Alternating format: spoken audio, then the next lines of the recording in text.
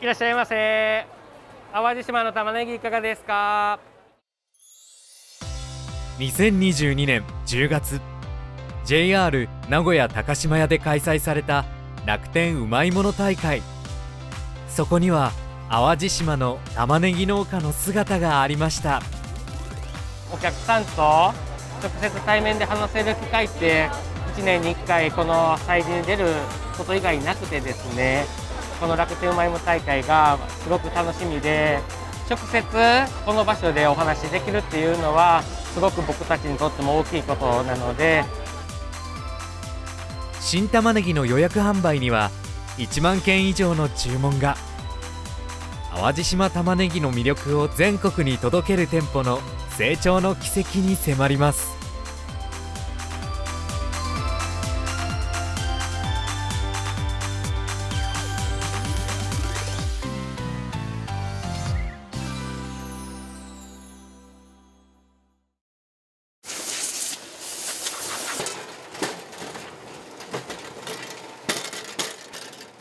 うちの場合は一つ一つ玉ねぎの頭を押さえて水が出ないかとあとお尻のとこが傷んでないか。これ手作業で全部検品をして大丈夫やったら箱に詰めていくっていうふうに一つ一つちゃんと見てます。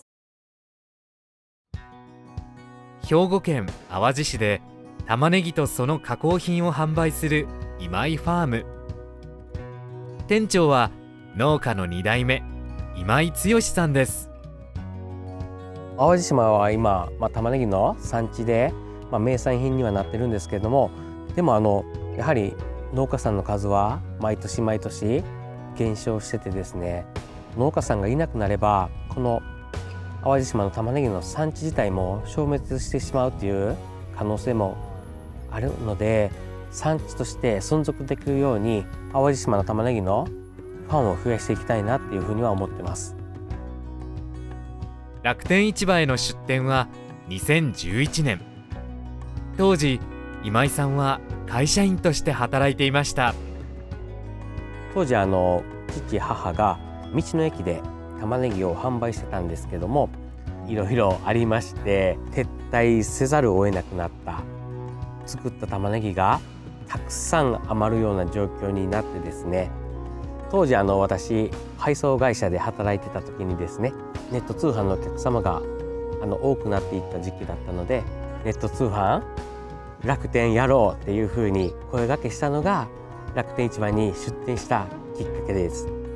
最初はですね会社員を続けながら1年半やりました。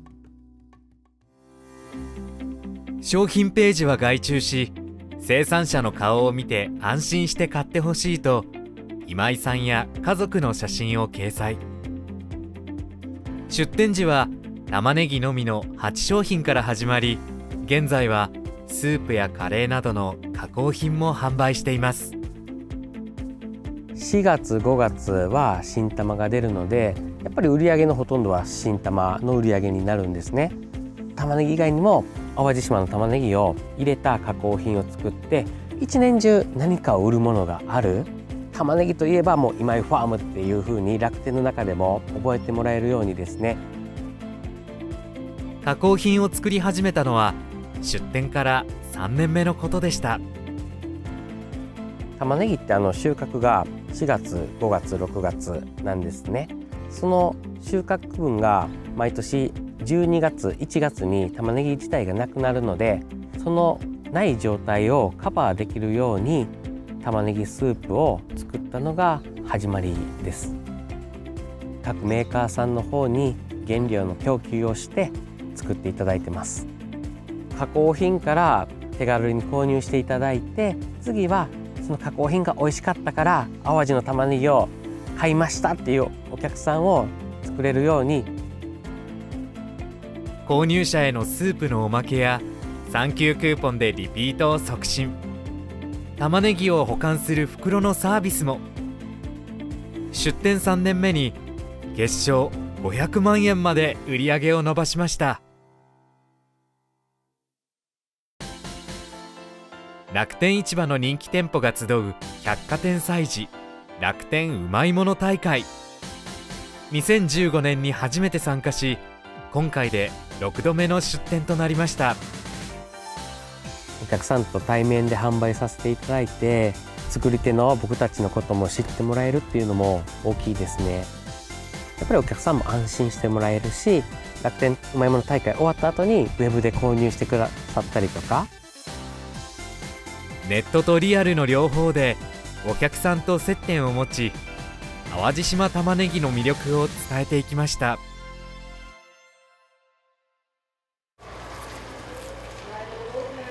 順調に売り上げが伸びる一方で生産が徐々に追いつかなくなっていきました。なくなるのが早くなっていったんですね。お客さんから今年早いってお叱り受けるんですよね。なのでそこはもう期待に応えれるようにあの僕たちが作付けを増やして規模拡大と雇用の面は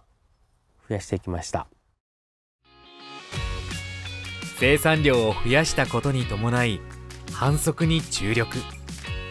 さらに加工品は1年に1商品のペースで新商品を作りました。一番人気は玉ねぎスープでその次が今カレー。毎回マラソンであったりとかスーパーセールであったりとかは1000円ポッキリの広告となおかつポイント10倍広告ないし20倍広告で露出を大きくして加工品で知ってもらえてるっていうのが本当にきっかけ作りで。2017年に月賞1000万円を突破。2020年には新玉ねぎシーズン以外も月1000万円以上売れるように。加工品の売り上げが伸び店舗内の売上シェアは玉ねぎと加工品およそ50%ずつになりました。約6割ぐらいはもうリピーターさんなんですよね。予約販売に関しては1ヶ月後にはもう1000ぐらいは入るんですね。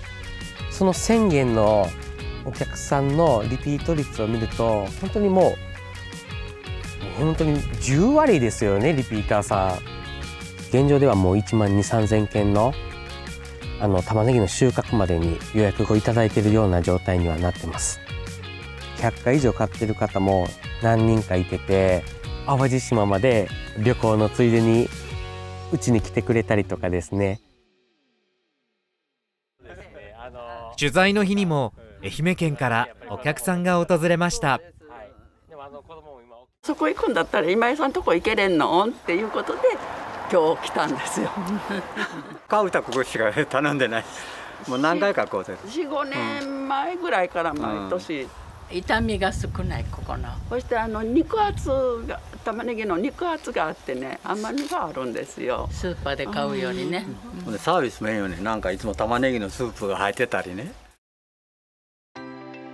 玉ねぎと加工品の両軸で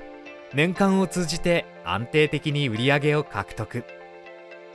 淡路島玉ねぎの魅力を伝える商品でリピーターを育て2022年4月月賞2800万円を突破しました。現在はさらに生産規模を拡大中です。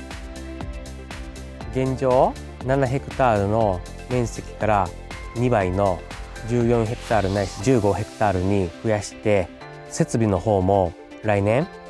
あの一つ大きな冷蔵庫を建てるんですけどこの一次産業っていうのは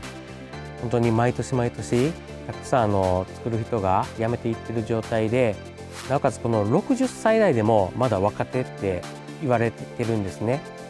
若い人間がやっぱ頑張っていかないと僕たちがあの頑張ってたくさん面積を作って耕作放棄地にならないように地域が活性化するように頑張っていきたいなって思ってます。